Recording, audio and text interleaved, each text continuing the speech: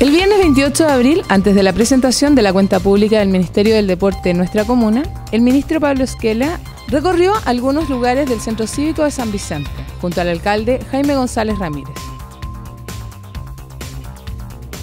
Además, visitaron el estadio municipal donde compartieron con jóvenes de las escuelas municipales de fútbol.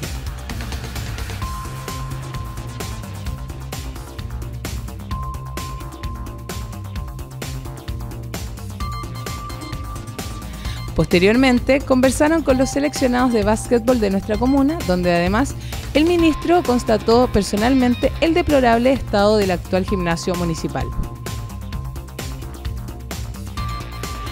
Este recorrido finalizó en el sector de la piscina municipal, donde las autoridades, en especial el ministro, se mostraron satisfechos por el avance de los trabajos de construcción de la nueva piscina temperada.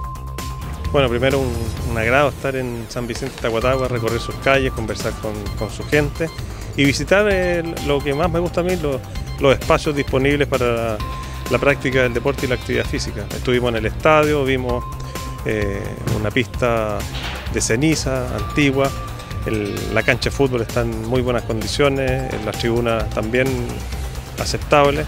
El gimnasio, eh, me alegré mucho de de voz del alcalde que lo van a cambiar dentro de muy poco tiempo. Por lo tanto, esos niños con los cuales jugamos hoy día básquetbol van a tener un espacio mucho mejor dentro de, un año, un año y medio. También la, piscina semiolímpica que también está en, fase de construcción.